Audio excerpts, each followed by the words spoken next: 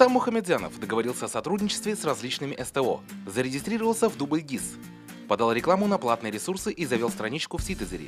И плюс на него работает сарафанное радио. Но клиента поток Рустама все равно не устраивает.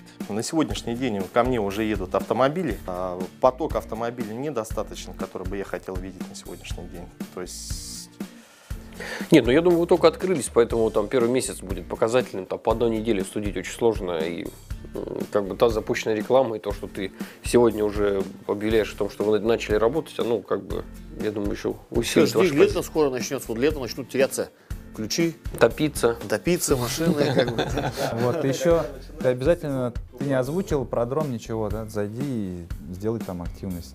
Начни писать, помогать людям, чтобы твой авторитет как э, специалиста рос на этом форуме, потому что там очень много автолюбителей сидят и решают свои сложные проблемы с компьютерами. А ты как специалист можешь им порекомендовать, и тем самым а, большая общественность как бы, будет знать, что ты такой есть.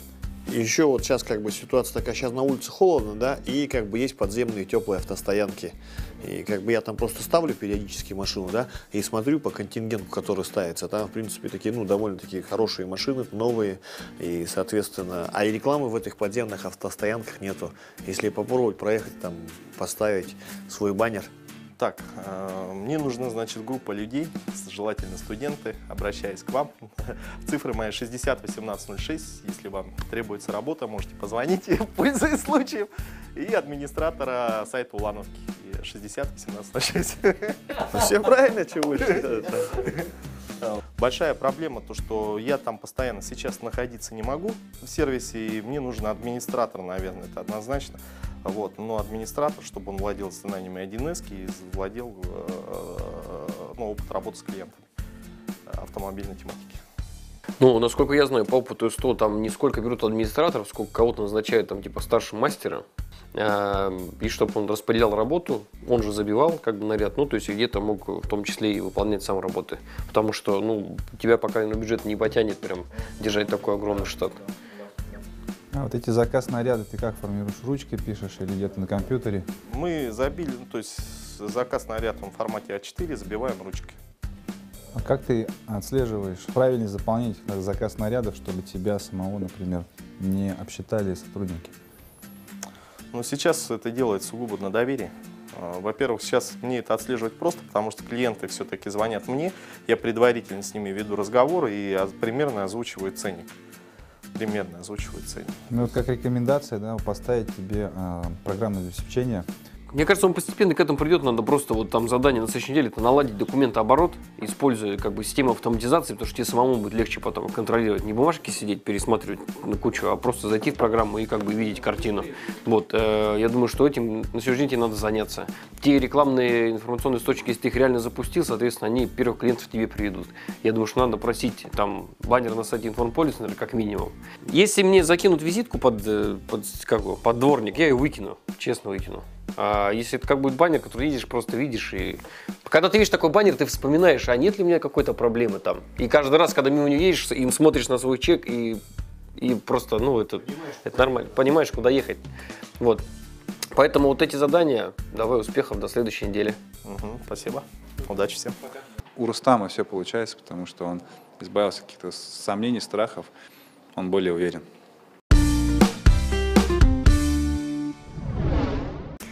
Здравствуйте, уважаемые эксперты! Я очень рада вас видеть и что хочу поделиться с вами новостью, что продажи у меня начались, продажи у меня существуют, есть заказы, и к данному времени я продала все, что у меня было, и теперь мне нужно готовить новые. Какая сложная проблема. Поздравляем. Хороший результат. Но наставник не сильно обрадовался крупной продаже. Есть некоторые, некоторые моменты, которые я хотел прояснить, что эта продажа была корпоративная, большая, а, о которой мы не думали. То есть мы думали совершить их на следующем шаге.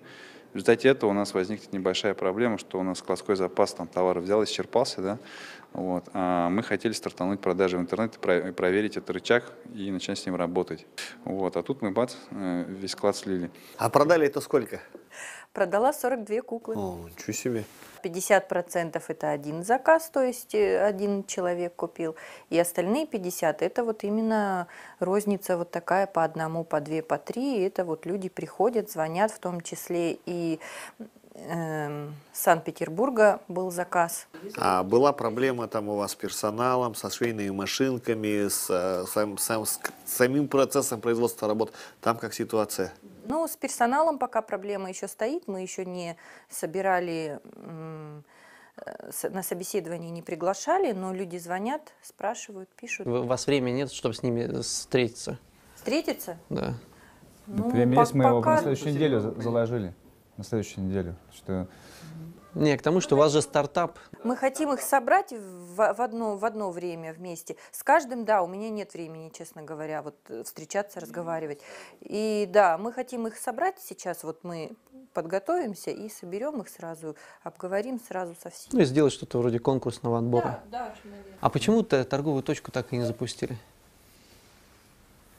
То есть вне, Ольга, вот ваше мнение. Ваше личное мнение, Ольга. Торговую точку? Почему нету, да? Ну, потому что пока, пока, наверное, нет такой финансовой возможности, чтобы снимать, арендовать какое-то помещение. Мы делаем по технологии бережливый стартап, то есть мы экономим ресурсы 100%. Мы производим, продаем их на квартире, мы экономим ресурсы. Мы продаем через самый дешевый канал в интернете и плюс э, используем телевидение, это раз. И почему мы отлаживаем а, бутики и сувенирные лавки, я же говорил, и оптовые заказы, потому что первым мы должны продумать, какая будет ценовая политика в розничной сети, да, и потом, когда мы уже наработаем деньги через самый дешевый канал, где мы не тратим никаких денег, продавать через вашу квартиру, да, мы перейдем к продажам корпоративным. Это буквально продать через там, неделю-две.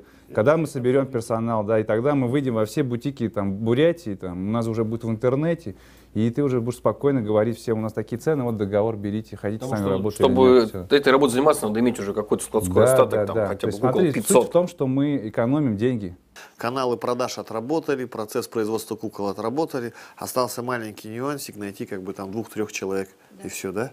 И а, третья задача, которую я забыл, она самая важная на самом деле, это организовать групповое собеседование. Мы должны решить эту проблему с трудоустройством и укомплектацией нашего мини-производства. Добрый день. Готова похвастаться. У меня есть э, уже достижение. Практически завершен ремонт. Осталось завести оборудование, смонтировать. А, дол- Должны заехать электрики, сделать разводку, и можно будет уже подключать и попробовать жарить. Я нашла поставщика семечек а, из города Рубцовск. Хорошая семечка, сорт колумдинец, калибр 42, если вам это о чем-то говорит. Крупная, хорошая семечка, там масличность высокая, то есть будут вкусные они достаточно, потому что сорт лакомка, она по масличности немножко суше, и когда вот ее щелкаешь, нет такого наслаждения вкусом семечкового. По поводу названия. А, опрос ВКонтакте показывает, что люди как раз-таки наоборот говорят местные, местные это как-то вот лучше. Уже все и привыкли, и поэтому у нас идет колебание по поводу вот торгового бренда, торговой марки. Также я выяснила, что э, регистрация торговой марки обойдется мне в 60 тысяч рублей, штрих-кодирование обойдется мне в 25 тысяч рублей, это еще практически 100 тысяч дополнительных расходов. Ну, тем не менее, надо двигаться, осталось чуть-чуть. Проблемы. а, Небольшая вышла заминка с оборудованием. Задержалась она у нас на 5 дней в дороге. Поэтому э, ну, вот вышли небольшие как бы, задержки. Но ничего страшного. А как с командой? То есть нашли, нашли уже, кто будет жарить, кто будет вот именно вот производством заниматься? Чьими руками? А, Я на этой неделе подала заявку в Центр занятости населения. Они мне уже подобрали а, персонал. А, Технолога по обжарке семечек как такового нет, такого специалиста.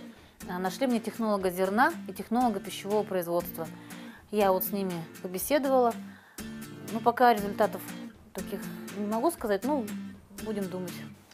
Ну, мы уже один разговаривали про это. Я думаю, что настала пора все-таки это сделать. Пустить бегущую строку требуется жарщик семечек. Потому что производства подобные и есть, и были, и я думаю, что текучих кадров там в том числе есть. То есть по разным причинам человека может не устраивать предыдущее место работы. И вот тебе сейчас на старте желательно было найти человека с опытом. И, ну, как бегущая строка тут по ну, максимальный эффект, скорее всего, даст.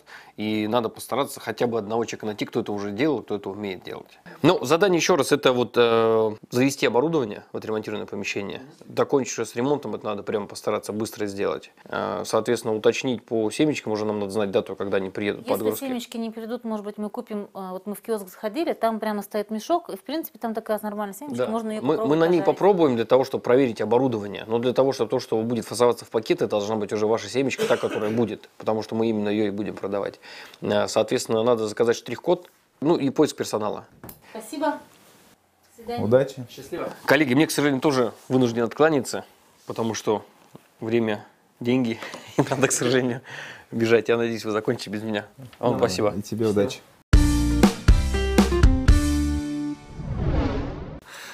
Здравствуйте, Николай Леонтьевич. На прошлой встрече было перед вами поставлено как бы ряд задач, да, в частности то, что это договор, раз, визитка, два, сделать э, предварительную продажу, три и показать прайс-лист.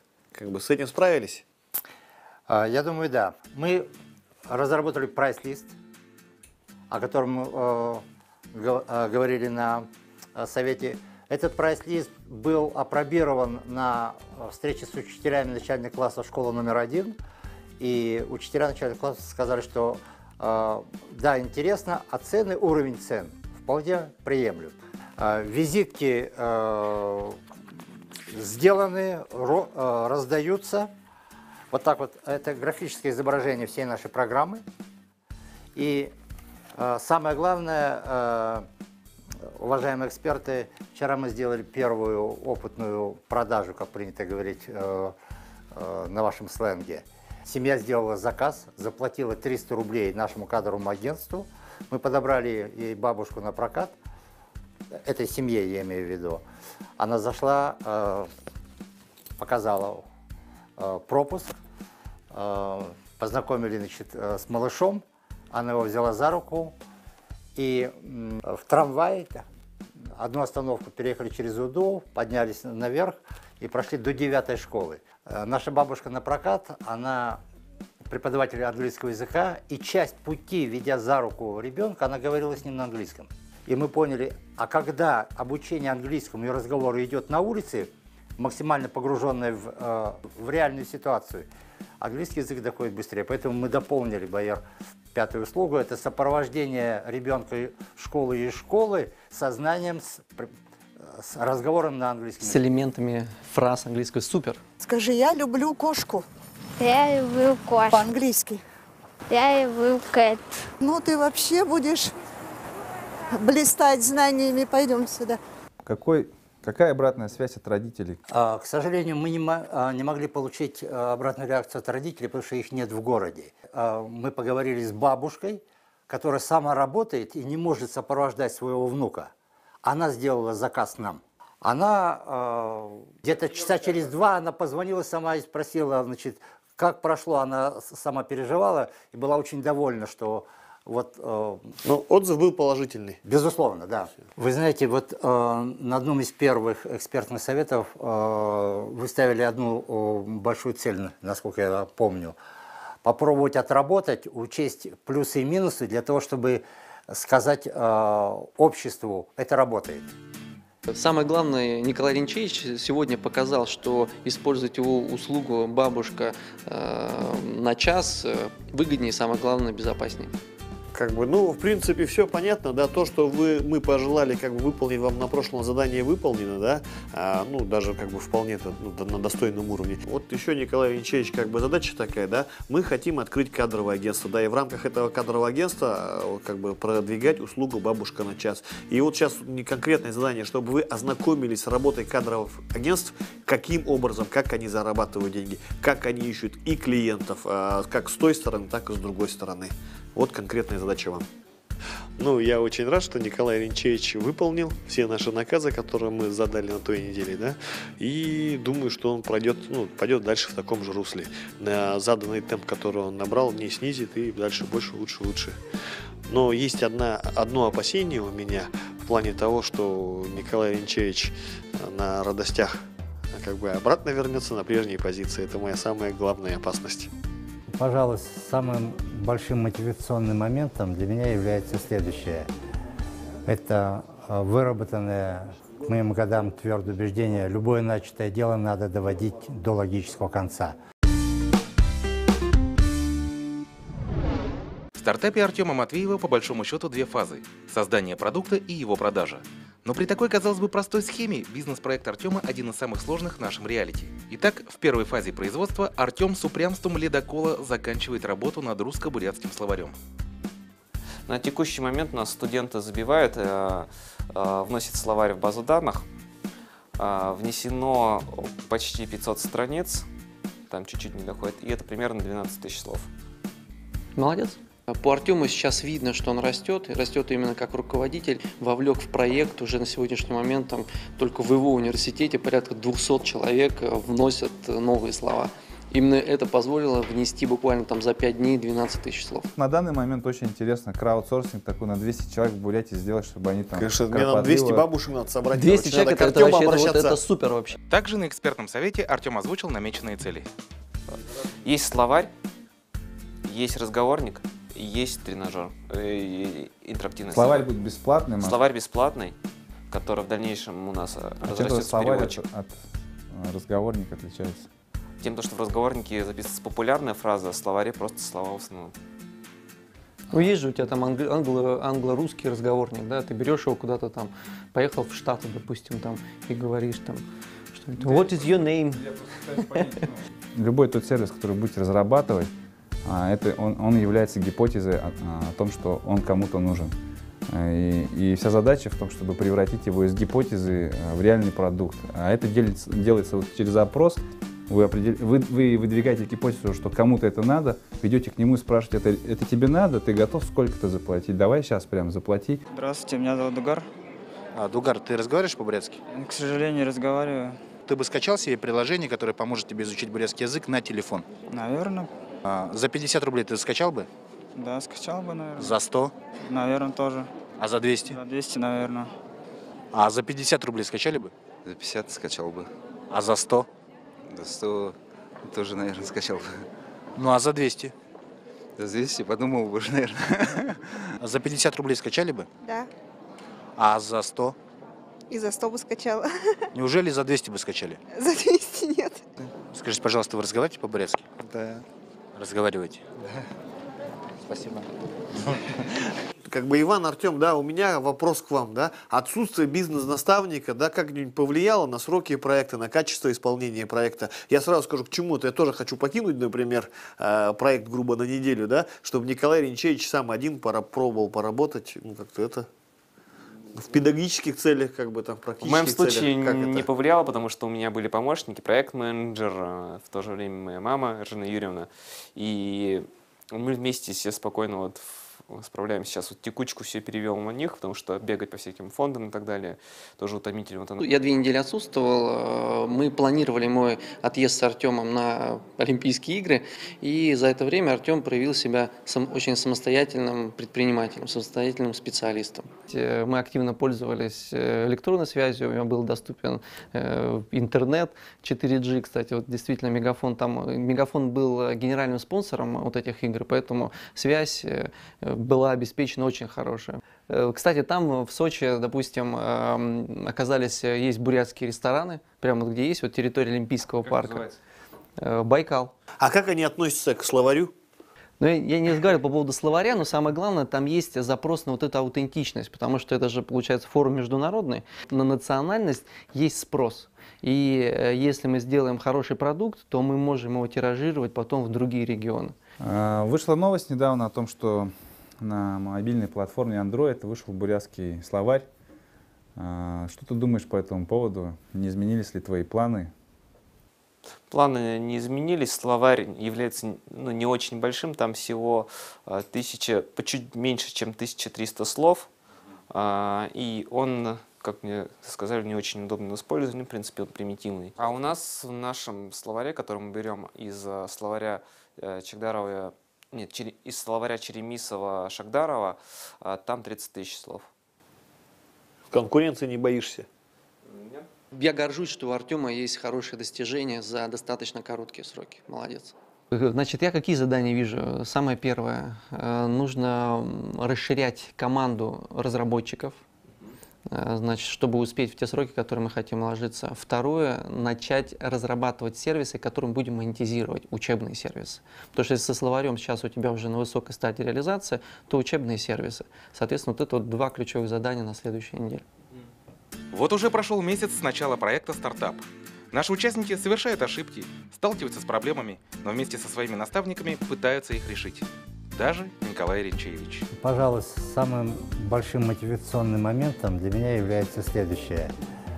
Это э, выработанное к моим годам твердое убеждение, любое начатое дело надо доводить до логического конца. Смотрите нас с понедельника по пятницу после программы «Новости дня» в 20.00 на канале ТВКом, а также на сайте infpol.ru.